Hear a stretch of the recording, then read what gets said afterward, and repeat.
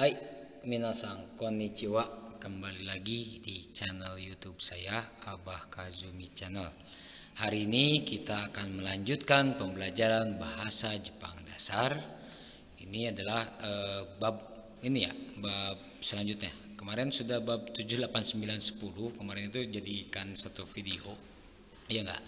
Setelah beberapa kali saya tidak ini tidak eh, upload konten. Nah, sekarang hari ini pun saya rencananya buat dua video yang digabung minasang. Ini jadi dua bab kita belajarnya bab 11 dan 12. Hai, Di bab ini kita akan belajar eh, yang pertama cara menghitung kuantitas. Ya, Cara menghitung kuan kuantitas. Nah, dan apalagi ya banyak ya minasang ya ada cara penggunaan kata keterangan bilangan kemudian ada lagi apa nih jangka waktu ada bilangan dake ya ada dake dan sebagainya. Nah sebelum kita masuk ke pembahasan saya ingatkan kembali yang belum subscribe silahkan di subscribe terlebih dahulu. Kemudian ditekan tombol like-nya kemudian di share ke teman-temannya yang memang hari ini atau saat ini sedang belajar bahasa Jepang tingkat dasar atau setara dengan N5 ya. Hai Oke kita langsung masuk saja. Di pembahasan yang pertama ini ada cara menghitung kuantitas. Kuantitas itu kan jumlah ya minasang ya. Di sini ada cara menghitung itu eh, untuk kuantitas itu ada dari 1 sampai 10 hitotsu, futatsu dan sampai to ya. Cara menghitungnya ini ada di ini minasang di buku ini Minani Honggo di halaman akhir di belakang ya di lampiran-lampiran itu ada caranya silahkan nanti dicek ya minasang ya nah untuk 1 sampai 10 itu berbeda untuk pengucapannya. Kalau untuk 11 ke atas digunakan angka itu sendiri. Jadi kembali lagi ke asalnya. Ya kalau 11 juichi, kalau 12 ya Juni kayak gitu dan seterusnya. Kemudian ada eh, berbagai kata bantu bilangan. Nah, untuk jumlah orang itu gimana gitu ya. Untuk kuantitas itu berbeda-beda. Jadi ada kata bantu yang uh, bantu bilangan khusus ya minasang ya. Contoh ada hitori itu untuk uh, apa satu orang. Untuk jumlah orang itu pakainya sebetulnya di sini ada nani nani ning ya kan. Tapi tidak dibaca ichining.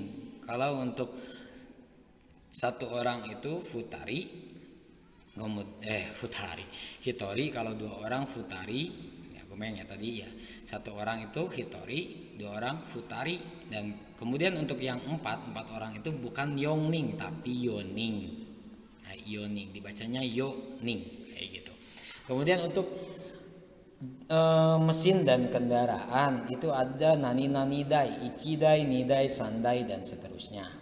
Kemudian ada untuk benda yang tipis bisa kertas, baju, kaos, piring, CD dan lain-lain itu hitungannya pakai mai Ichimai Nimai Sangmai.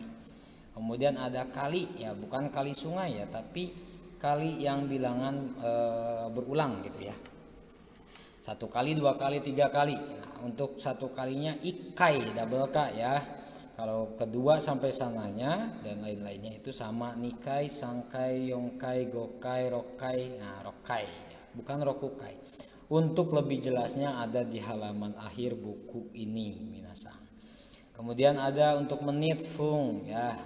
Untuk fung juga ada kan di bab sebelumnya kita sudah belajar jam untuk ifung nifung gitu kan. Ipung ya, double P, ipung nifung, sampung ya. Dan seterusnya. Kemudian untuk hitungan jam satu jam, dua jam, tiga jam, empat jam gitu dan seterusnya ini pakai nani nani jikang, ichi jikang, ni jikang, san jikang, yong jikang, Yujikang, yo ya, Yujikang, Gojikang dan seterusnya. Kemudian untuk hitungan hari ya sama seperti dengan tanggal eh, ya untuk satunya itu tidak namun ya untuk satunya tidak dibaca suitachi tapi dibacanya ichinichi. Ya, ichinichi. Nah, kalau untuk dua hari bagaimana? Ya futsuka. Gitu. Ya bukan minici tapi futsuka. Sama seperti tanggal hanya berbedanya itu di satu harinya saja. Untuk yang lainnya sama ya ichinichi futsuka mika. Ya, kayak gitu. Kemudian ada sukang. Sukang itu untuk minggu untuk hitungan minggu satu minggu dua minggu tiga minggu empat minggu dan seterusnya. Kemudian ada kagetsu satu bulan dua bulan tiga bulan. Beda dengan bulan satu bulan dua bulan tiga. Kalau bulan satu bulan dua bulan tiga itu kan hitungan untuk Januari Februari Maret April dan seterusnya. Ya enggak kalau ini hitungan bulannya atau kuantitasnya kemudian ada neng neng itu tahun ya ichi neng nineng sang neng dan selanjutnya Nah, untuk selanjutnya kita akan belajar menggunakan kata keterangan bilangan. Ya, menggunakan kata keterangan bilangan. Di sini angka yang dibubuhkan kata bantu bilangan pada dasarnya diletakkan langsung di belakang kata benda yang menentukan jenis kata keterangan bilangan plus partikel.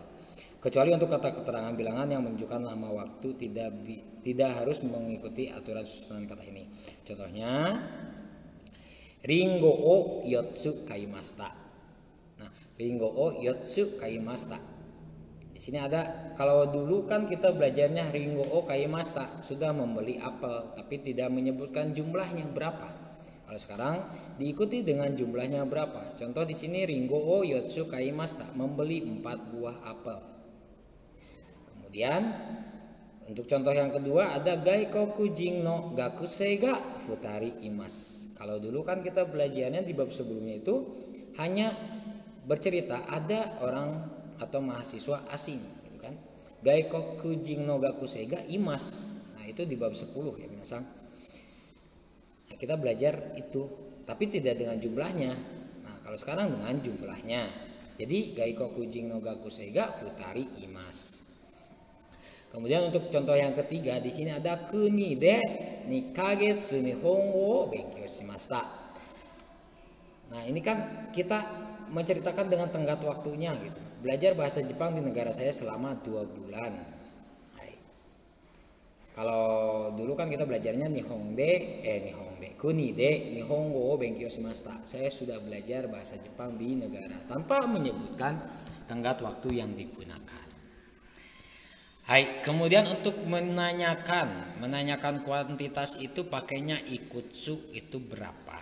Ya, digunakan untuk menghitung kuantitas benda dengan menggunakan cara menghitung satu banding satu ya, bukan satu per satu, gomeng, bukan satu banding satu, satu satu ya. Contohnya, mikang o ikutsu kaimastaka. Mikang o ikutsu kaimastaka. Nah, kata tanyanya ada di tengah. Mikang O ikut sukai mastaka membeli berapa buah jeruk. Yatsu kai mastaka membeli 8 buah. Nah, ini untuk menanyakan kuantitas. Nah, untuk e, menghitung kuantitas benda yang dibubuhkan ya. Kata benda seperti satu dua. Nah, di sini ada nang ditambah kata bantu kayak nang ning ya kan nang nici itu pakainya nang. Ya. Contohnya di sini ada kono kaisani gai koku jingga nang ning imaska Hai. kono kaisani gai koku jingga nang ning imaska di perusahaan ini ada berapa orang asing? Goning imas. Kemudian ada nomor selanjutnya di contoh selanjutnya di sini ada maibang nanjikang nihongo benkyo shimasu setiap malam berapa jam belajar bahasa Jepang? Maibang nanjikang nihongo benkyou shimasu ka? Jawabannya nijikang benkyou shimasu. Belajar dua jam. Kemudian ada donokurai. Ini digunakan untuk menanyakan lama waktu berapa lama gitu kan. Donokurai itu kira-kira berapa lama gitu. Kurai itu kan kira-kira ya. Oke, di sini contohnya ada donokurai bisa gurai bisa kurai sama ya. Ada contoh di sini dono kurai no hongo benkyo shimashita berapa lama belajar bahasa Jepang? Di sini sang neng benkyo shimashita belajar selama tiga tahun. Kemudian ada lagi contohnya Osaka kara Tokyo made dono kurai kakarimasu ka? Memerlukan waktu berapa lama dari Osaka sampai dengan Tokyo? Shinkansen de niji hang kakarimasu. Memerlukan waktu dua setengah jam dengan Shinkansen. Nah, itu untuk menanyakan berapa lama ya, menanyakan lama waktunya. Kemudian ada kurai atau gurai. Nah, gurai itu mengikuti kata keterangan bilangan, menunjukkan perkiraan jumlah. Hai, contohnya di sini ada Gakoni sensei ga sang juning gurai imas. Di sekolah ada kira-kira 30 orang guru. Jadi kalau misalnya kita ragu untuk menyebutkan uh, ada berapa orang ya, wah kira-kira ada 30 atau 20 orang. Jadi pakainya gurai ya. Kemudian ini contoh yang lain ada juga funggurai kakak Rimas memerlukan waktu kira-kira 15 menit. Nah, ketika kita ragu nih misalnya dari rumah ke eh, apa ke kombini misalnya berapa waktu kira-kira nih yang dibutuhkan. Ah, paling ke kombini itu 15 menit gitu kan. Atau paling 10 menit lah kira-kira gitu kan. Ya, jupunggurai kakak Rimas. Nah, itu pakainya kira-kira. Ketika kita misalnya ragu ya misalnya Kemudian di nomor tiganya itu ada kata keterangan bilangan jangka waktu ni ikai. Contohnya ya, ditambah kata kerja ya. Ini ekspresi untuk menunjukkan frekuensi. Jadi satu misalnya satu minggu berapa kali, satu bulan berapa kali kayak itu. Ini frekuensi ya. Satu hari berapa kali? Misalnya satu hari e, dua kali mandi kayak gitu. Itu kan frekuensi ya hitungannya. Contohnya di sini ada ikagetsu ni nikai egao mimas Ikaget seni nikai egao mima sebulan dua kali menonton film. Kalau tadi satu hari dua kali mandi berarti cini nikai sawao apimas. Dalam satu hari mandi dua kali. Hai kemudian di sini yang terakhir kak, hai terakhir di bab 11 itu ada kata keterangan bilangan dake. Kalau dake itu artinya saja ya bisa untuk kata keterangan bilangan, bisa juga untuk kata benda. Nah, dake diletakkan di belakang ya kata keterangan bilangan atau kata benda yang mempunyai arti tidak ada yang lebih dari itu atau tidak ada selain itu nah, atau artinya saja gitu. Contohnya bahwa denkini gaikoku jin no hitori dake imas. Bahwa denkini gaikoku jin no hitori dake imas di power elektronik hanya ada seorang pegawai orang asing. Jadi nggak ada lain lagi, cuma satu orang. Kemudian yang keduanya contohnya di sini ada Yasumi wa Nichiyobi dake des. Hari libur hanya hari Minggu saja. Hai, untuk bab 11 selesai ya minasang ya. Nah, tadi yang tadi penasaran itu ada di mana sih sensei untuk penunjuk bilangannya itu ada di akhir gomeng ini saya tarik dulu ya ke bawah ya ya enggak nah di bawah di sini guys ya nah di sini minasang nih. Ada di halaman berapa ya berarti ya? Di buku minasang juga yang punya buku Minani Honggo bisa dicek ya. Ada di belakang untuk hitungan. Nah ini seperti ini di sini nih untuk hitungan bilangan ya kata bantu bilangan. Untuk benda kayak buah gitu kan ini buah kunci dan lain-lain. Itu pakainya hitotsu putatsu mitsu yotsu nah untuk orang itu bagaimana? Untuk urutan itu bagaimana? Benda yang tipis itu bagaimana? Nah ada di sini semua kuncinya. Silahkan dihafalkan. Kalau yang ini wajib dihafalkan minasang. Ya karena ya salah satu caranya cuma hafalkan aja hafalan aja. Kemudian ada untuk menghitung mesin dan kendaraan bagaimana untuk umur bagaimana buku dan e, buku catatan itu apa hitungannya ini satsu ya. Kemudian ada pakaian pakaian juga pakainya apa kayak gitu. Silahkan dihafalkan. Kemudian ada lagi frekuensi bagaimana benda kecil bagaimana sepatu kaos kaki rumah dan sebagainya. Nanti bisa dilihat di halaman 169 eh, 168 ya dari 168 ya minasang mina nihongo 1 Hai terima kasih semoga selalu bermanfaat. Oke kita lanjut nanti di bab 12 setelah yang satu ini. Hai minasang kita lanjutkan pembahasannya uh, setelah tadi kita belajar bab 11 kita langsung belajar bab 12 ya. Di sini kita akan belajar untuk uh, waktu positif atau negatif untuk kalimat nominal dan kalimat adjektifal. Ya, kalimat adjektifal atau uh, ini untuk kata sifat ya. Kata sifat misalnya. Untuk kata sifat nak. Nah, di sini ada yang pertama itu tadi kan waktu positif dan negatif ya untuk kalimat nominal dan adjektifal kuming-kuming. Kagok banget ngomongnya ya. Hai, di sini ada contoh positifnya untuk kata benda. Nah, kata benda itu akan selalu beriringan aturannya dengan kata sifat na. Ya, nanti diperhatikan aja ke depannya pun akan selalu beriringan. Ini di sini contohnya ada waktu non lampau sekarang dan masa depan contohnya kata benda ame des ya kan nah ame des ini untuk positif kata sifatnya si juga des nah, untuk lampaunya ame desta si juga desta kayak gitu kemudian kita lanjut ke bentuk negatifnya ada kata benda untuk kata benda dan kata sifatnya di sini ada ameja arimaseng Hai, ameja arimaseng untuk negatif. Kemudian ada Shizuka dewa arimaseng atau ja arimaseng sama ya tadi juga ameja arimaseng atau ame dewa arimaseng. Kemudian untuk negatif lampau ameja arimaseng desta atau ame dewa arimaseng desta keduanya sama atau Shizuka dewa arimaseng desta atau Shizuka ja arimaseng desta. Contoh di kalimat Kino wa kino karena kino itu kemarin berarti ini lampau. Kino wa ame desta. Ingat ya. Kino wa ame desta. Lampau ya, kemarin hujan. Kemudian ada itu untuk bentuk lampau positif. Sekarang ada lampau negatif. Kino no shikeng wa kantang ja arimaseng desta. Ada kata kantang. Kantang itu kata sifatna ya harusnya kan kantang na ya enggak tapi kan di sini aturannya harap diperhatikan lagi. Nah, ini dan ini. Ya, ketika positif bagaimana, ketika negatif bagaimana. Hai, perhatikan. Nah, ini negatif lampau. Ada kinono si kengwa kantang ja arimaseng desta. Ujian kemarin tidak mudah. Hai, ujian kemarin tidak mudah.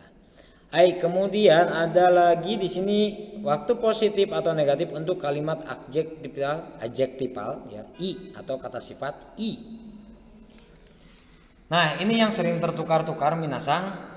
Jadi ini sangat berbeda ya kalau tadi kata sifatnya dan kata benda itu yang digantinya itu des jadi desta ja maseng atau dewa maseng jadi ja maseng desta jadi akhirannya yang dirubah kalau untuk kata sifat nah itu ini kita lihat untuk positif contohnya atsuides.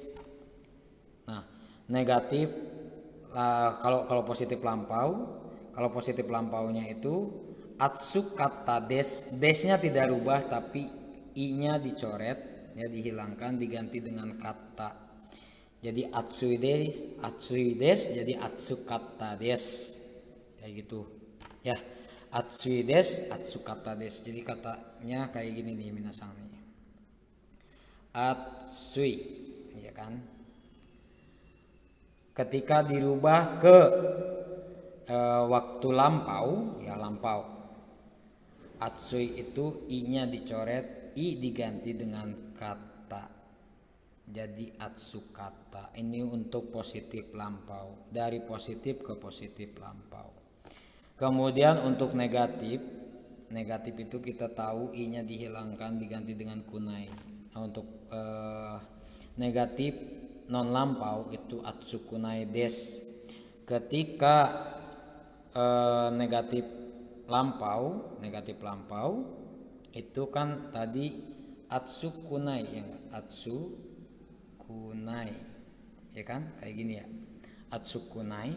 Nah i-nya dihilangkan juga diganti dengan kata. Jadi atsukuna kata kayak gitu minasang. Ngai. Atsukunai des jadi atsukuna kata des. Nah, ini harus dihafalkan minasang. Harus apa jangan sampai tertukar-tukar. Hai silahkan di screenshot pun gak masalah minasang. Contoh di sini ada kinowa atsukata des kinowa atsukata des ini lampau ya walaupun akhirannya des bukan desta. Kenapa? Karena lampaunya itu sudah ditunjukkan dari kata ini atsuinya nah ini dari kata atsui berubah jadi lampau itu jadi atsukata. Kemudian ada lagi contohnya kinono patiwa amari tanoshi kunakata kinono patiwa amari tanoshi kunakata des pesta kemarin tidak begitu menyenangkan. Ini negatif lampau. Tanoshi kunai ya tanoshi kunakata nih negatif lampau. Kemudian kita lanjut ke yang berikutnya. Di sini ada kata benda satu wa kata benda dua yori. Kata sifat des yori itu mengandung arti lebih dari lebih dari maka di sini ada penjelasannya menyatakan sifat atau kondisi kata benda satu dengan kata benda dua yang dianggap sebagai patokan. Hai. Nah, ini yang keduanya itu patokan benda pertamanya. Contohnya kayak gini ada kalimat kono kurumawa ano kurumayori okides. Kono kurumawa ano kurumayori okides. Mobil ini lebih besar, lebih besar dari mobil itu. Kayak gitu. Jadi mundur minasang. Hai. Jadi mobil ini lebih besar dari mobil itu. Jadi kata benda yang keduanya itu menjadi patokan yang pertama. Jadi dengan kata lain, mobil yang pertama itu lebih besar dibanding mobil yang kedua, kata gitu. Ya. Hai, jadi seperti itu yang minasang ya. Contoh yang lain, uh, hari ini, misalnya hari ini hari ini itu kiok. Hari ini lebih panas dibanding kemarin. Kemarin itu kino. Jadi kiowa kino. Nah, kino di belakang. Kino yori atsui des. Hari ini lebih panas dibanding kemarin. Kayak gitu. Jadi hari ininya dulu yang diucapkan kemudian kemarinnya yang menjadi perbandingan di belakang kemudian disusul dengan yori lalu kata sifat. Seperti itu minasang. Hai, kemudian ada yang nomor empatnya itu ada kata benda satu to kata benda dua to docira ga kata sifat deska. Atau kata benda satu kata benda dua no hoga kata sifat des Nah, ini jika membandingkan dua benda digunakan kata tanya docira untuk seluruh benda yang dibandingkan. Contoh, ada sakato, saka main bola dan yakyu ya. Sakato yakyu to, to-nya dua kali partikel to-nya. Jadi sakato yakyu to sepak bola dan yakyu, yakyu baseball. Nah, docira ga omoshiroi desu? Mana yang lebih menarik? Mana yang lebih menarik? Jawabannya sakano hoga omoshiroides sepak bola yang lebih menarik. Kemudian ada contoh lagi mira sangto santos sangto dochira ga tenis suga joju deska tenis suga joju deska Mira sangto santas sangto santos ya santos sangto dochira ga tenis ga joju deska yang mana lebih pandai bermain tenis saudara Miller atau saudara Santos? Atau saudara Miller dan saudara Santos itu siapa yang lebih pandai main tenis? Ini untuk membandingkan eh, apa namanya dua benda. Contoh yang lain. Hokkaido to Osaka to dochira ga sujushi deska. Mana yang lebih sejuk? Hokkaido atau Osaka atau misalnya Bandung to Jakarta to Dociraga Yume deska mana yang lebih terkenal Bandung atau Jakarta kayak gitu ya kedua-duanya juga terkenal ya enggak Hai. Nah kalau misalnya kedua-duanya terkenal gimana jawabannya? Kalau tadi kan pakai nohoga ya kan kalau misalnya pilih salah satu. Kalau kedua-duanya dociramo yume des dociramo yang mana pun ya kan ingat mau itu pun atau juga you made this terkenal kayak gitu kemudian ada nomor 9 contohnya Haruto Akito Dochira ga suki desu ka? Mana yang lebih suka? Ya, yang mana lebih suka musim semi atau musim gugur? Ini ketika diberikan pilihan ya dua pilihan. Kemudian kita lanjut di sini ada kata benda satu nona kade nani doko dare itsu. Nah, ini untuk kata tanya ditambah kata tanya ada nani doko dare atau itsu. Ga ichibang kemudian kata sifat deska. Untuk jawabannya kata benda ga ichibang kata sifat des. Nah, di sini D menunjukkan ruang lingkup jika menanyakan benda, tempat, orang atau waktu yang menunjukkan kondisi dan sifat yang tingkatnya maksimal dari ruang lingkup kata benda satu. Gunakan kata tanya sesuai target. Contohnya Nihon Ryori no nakade. No nakanya itu boleh diucapkan ataupun boleh tidak. Bisa Nihon Ryori na, uh, Nihon Ryori de bisa seperti itu. Bisa juga Nihon Ryori no nakade nani ga ichibang oishi desu ka? Di dalam ya, di dalam naka, nakade itu kan di dalam. Ya, nakade. Di dalam masakan Jepang, di dalam masakan Jepang, nani ga ichibang oishi desu ka? Apa yang lebih enak? Nah, di sini dijelaskannya apa yang lebih enak di antara masakan Jepang. Jadi di antara masakan Jepang kan banyak ya, bukan hanya sushi dan sebagainya aja. Banyak ada sushi, udon dan sebagainya. Apa yang paling enak di antara masakan Jepang? Nihon ryori no nakade atau Nihon ryori de nani ga ichibang oishi desu ka? Tempura ga ichibang oishi desu. Ini menurut si yang menjawab ya, tempura yang paling enak. Kalau menurut saya sih bukan, bukan tempura. Mau tahu? Ada deh. Nah, karena itu apa ya? Relatif ya. Kalau misalnya enak, cantik, ganteng itu relatif menurut orang itu kan berbeda-beda ya enggak? Hai. Oke, kemudian kita lihat contoh yang berikutnya di sini ada Eropa de doko ga ichibang yokata desu ka? Daerah mana yang paling bagus di Eropa? Swiss ga ichibang yokata desu. Kemudian contoh yang lain. Kazoku de dare ga ichibang se sega takai desu ka? Siapa yang paling tinggi di antara keluarga? Ototo ga ichibang sega takai desu. Kemudian ada lagi Ichinen de itsu ga ichibang samui desu ka? Nah, kapan yang paling dingin dalam satu tahun? Jadi di satu tahun itu bulan apa sih yang paling dingin? Sini jawabannya nigatsu ga ichibang samui des. Bulan Februari yang paling dingin. Oke, ini ada yang harus diperhatikan. Kalimat tanya yang digunakan kata tanya yang menanyakan subjek dari adjektifal. Partikel ga digunakan di belakang kata tanya. Jadi kayak tadi itsuga, darega, dokoga, ya kan? Naniga itu pakainya partikel ga. Kemudian di sini ada lagi kata sifat no yang berfungsi sebagai pengganti kata benda. Sama seperti di pelajaran 2 telah dipelajari no dengan bentuk kata benda satu. No yang digunakan sebagai pengganti kata benda, kata yang diberikan pada pelajaran ini yaitu atsuino adalah ya, yaitu atsuino adalah bentuk kata sifat no dan no yang menggantikan kata benda seperti sama halnya dengan kata benda satu no. Contohnya, Karina sang no kabang wadore desu ka? Ano akakute okino des. No di sini itu kan tadi yang ditanyakannya apa? Kabang, ya enggak? Yang tadi yang ditanyakannya itu kabang. Di sini ada Karina sang no kabang wa dore desu ka? Ano akakute okino des yang merah dan besar itu.